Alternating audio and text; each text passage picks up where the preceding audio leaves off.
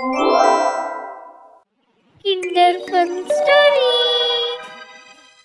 चूहों की समझदारी। एक छोटे से जंगल में हाथी रहते थे।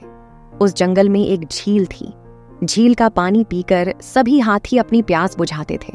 उस समय गर्मी बहुत पड्यच रही थी। ज़्यादा गर्मी के वजह से झील का सारा पानी सूख गया था। अब हाथी पानी के लिए बहुत परेशान रहने लगे। कई दिनों तक वे बिना पानी के रहे। एक दिन उनमें से एक हाथी ज़ोर से कहता है, अब आप सब चिंता मत कीजिए, पानी मिल गया है। यह सुनकर सभी हाथी बहुत खुश हो जाते हैं और कहते हैं, तुम्हें कहाँ मिला पानी? वह हाथी कहता है, यहाँ से थोड़ी दूरी पर एक नदी है, चलो मैं तुम सबको अपने साथ ले चलता हूँ। सभी हाथी उसके पीछे जाते हैं और पेट भरकर नदी का पानी पीते हैं। उस नदी के पास बहुत सारे चूहे रहते थे। हाथियों के वज़न के वजह से कई सारे चूहे मर जाते हैं। सारे चूहे हाथियों के पास जाकर कहते हैं, महाराज, नदी के पास हमारा परिवार रहता है, लेकिन आपके भारी वज़न के कारण बहुत चूहे मर गए हैं। आपसे विनती है कि आप जंगल के किनारे से होकर आया करो। हम बेशक छोटे हैं, पर कभी ना कभी हम भी आपके काम आ सकते हैं। उनमें से एक हाथी हँसते हुए कहता है, तुम इतने छोटे हो, तुम हमारे क्या काम आयोगे? हाथी कहते हैं, ठीक है, हम जंगल के किनारे से आया करेंगे।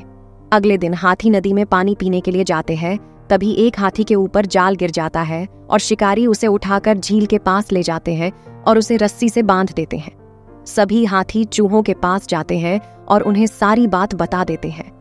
चूहे कहते हैं, आप चिंता मत कीजिए, हम आपकी मदद करेंगे। रात होते ही चूहे उस हाथी के पास जाते हैं। चूहे अपने दांतों से रस्सी और जाल को काट देते हैं, जिससे वह हाथी बच जाता है। ये वही हाथी था जिसने उन चूहों का मज़ाक उड्ढाया था। वह कहता है, मुझे माफ़ कर दीजिए। मैंने उस दिन आपको छोटा समझकर मज़ाक बनाया था। आज आपकी वजह से मेरी जान बची है। सीख। इस कहानी से हमें यह समझ आता है कि छोटे लोगों का कभी मज़ाक नहीं बनाना चाहिए। मुश्किल समय में कोई भी काम आ सकता है। जो काम चूहों ने किया था, वह काम हाथी कभी नहीं कर सकते थे।